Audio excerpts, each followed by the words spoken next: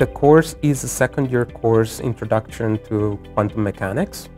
And more so, is the first course that students take that is going to be just for physicists and astrophysicists.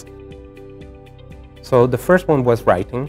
Uh, I noticed the first time I had to teach a fourth year course where one of the major assessment pieces was actually writing a paper, I realized that students had not had much training in or experience in writing.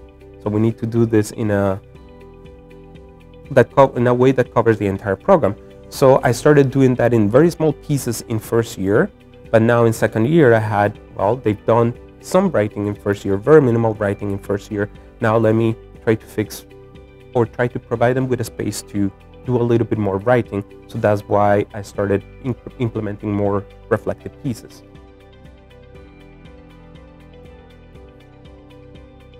So the three assignments were first the reading quizzes, so pre-lecture discussions, before the lecture discussions, they had to complete an electronic quiz. I used Blackboard to deploy the to deploy the quiz. That quiz, very short, consisted of four multiple choice conceptual questions and one reflective question. The reflective piece on the reading quizzes allow me to see are they capturing what's important? Are they capturing what is essential for that particular chapter, for that particular section?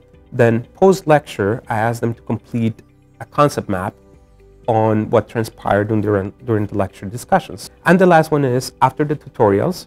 So we have before the lectures, after the lectures, now, after the tutorials where they apply what they've studied in the discussions, lecture discussions in their textbook, so they apply it, I want them to reflect on what happened in that entire week.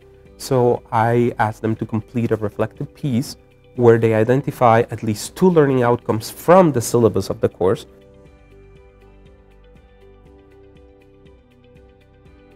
when I asked them to do the reading quizzes, it helped me uh, provide them with richer lecture discussions because now I could target what they're not understanding based on what they tell me in the pre-lecture reading quizzes.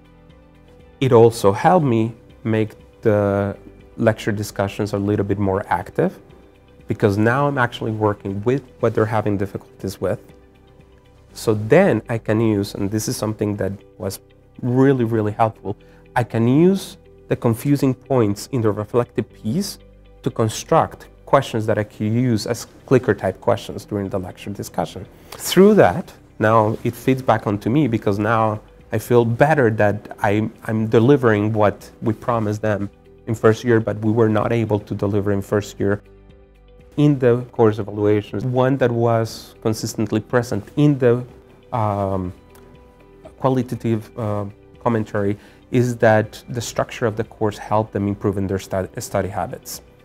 So that the student actually reflects to the level, say, the structure of the course has improved my study habits, that to me is really, really uh, valuable feedback. It's feedback on student that's doing self-assessment, a student that's reflecting on the whole experience, and a student that a student that's improving uh, and will be able to apply this to other courses.